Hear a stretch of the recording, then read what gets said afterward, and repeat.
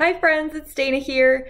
I don't know about you, but I was imagining the other day what it would be like to take a vacation in space. And I was imagining myself getting all strapped into a big rocket and, you know, launching myself out of the atmosphere. And what would be, I guess, the most, the thing that I would look forward to the most. And all I could think about was I couldn't imagine what it would look like to look at Earth, to not be on Earth and to look at it, the place where we live all the time. Like, I've never been off Earth before. I doubt that you have probably been off of Earth either. And it would just be surreal to see something that we've seen pictures of so many times and to think, wow, that that's where I live. That that's it.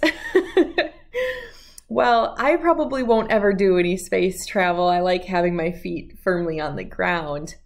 But I do like to learn all about space, and I thought it would be fun to read this book to you all about space. That it's a cat in a hat book, which makes it even more fun. And we have a hard copy of this here at home, and I know it's been read many times to my kids. So it is a, a, great classic. It's been around for a while, and I hope you enjoy it as much as we do. It's called There's No Place Like Space All About Our Solar System.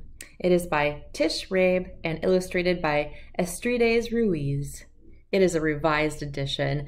I am wondering if the previous editions had Pluto as a planet. Who knows?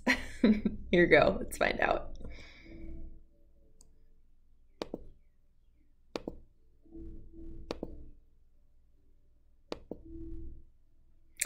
I'm the cat in the hat, and we're off to have fun.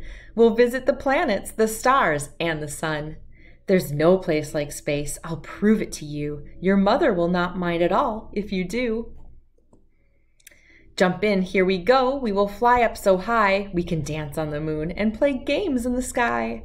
We will swing past the stars, and in case you have missed them, you'll soon see the planets in our solar system. There are eight of these planets that circle the sun, and soon you'll be able to name every one. Mercury's close to the sun's burning light. It's hot in the daytime, but freezing at night.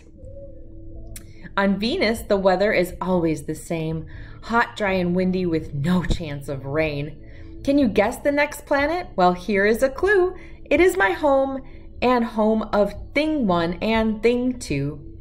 You have been living on it each day since your birth, as long as you haven't done any space travel, that is.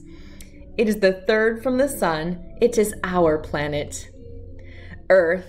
It spins all the time, round and round like a top. It turns once every day and it never will stop. This question had thing one and thing two in a tizzy. If the Earth's always spinning, why don't we feel dizzy?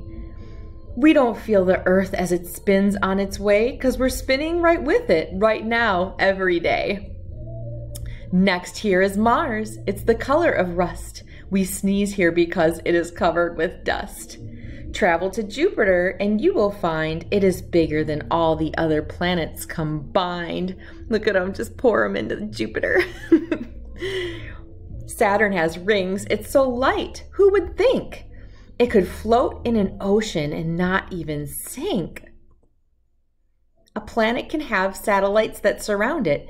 Uranus has lots of these objects around it. There are colors in space. I will show some to you. Neptune, planet 8, is a beautiful blue. We have seen all the planets. Now, here is a trick to remember their names and remember them quick. Say, Mallory Valerie Emily Mickles just saved up 999 nickels. I don't know if that's easy for you. Mercury, Venus, Earth, Mars, Jupiter, Saturn, Uranus, and Neptune. No Pluto.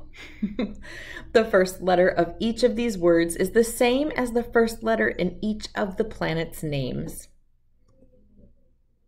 Now, here is a game you can play in the skies. Connect all the stars you can see with your eyes.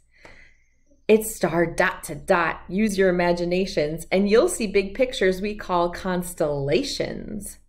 a dog, the great bear, and Leo the lion, Taurus the bull, and a hunter, Orion.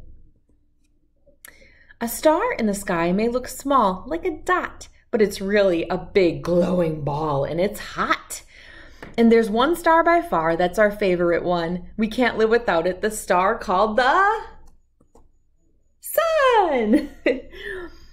From the Earth, it looks big. There is one reason why. It's the closest to Earth of the stars in the sky. But be careful and never look right at the sun. Your eyes will get hurt, and that would not be fun. How big is the sun? We just heard right this minute. A million of our Earths could all fit right in it. Oh, look at the time. We must go very soon, but first we must take a quick look at the moon. The moon does not shine in the sky in the night, but like a big mirror reflects the sun's light.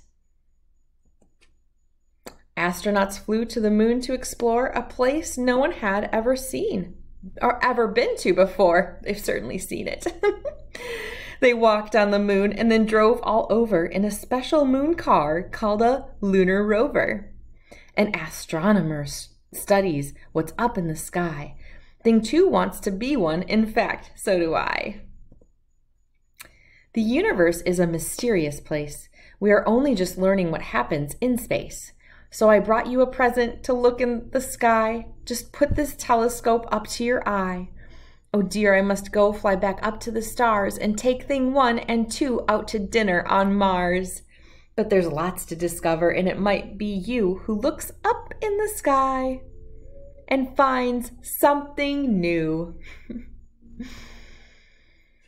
All right, friends, like always, there's a glossary in here. And let's go back. I love that moon with the cat in the hat on it. It's so much fun. I hope you enjoyed this fun rhyming book all about the solar system and our, you know, the world outside of our world. Thanks so much for reading with me. Excuse me. Thank you so much for reading with me, friends. Bye bye.